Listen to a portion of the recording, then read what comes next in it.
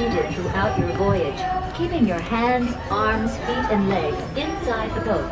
And please watch your children. Thank you.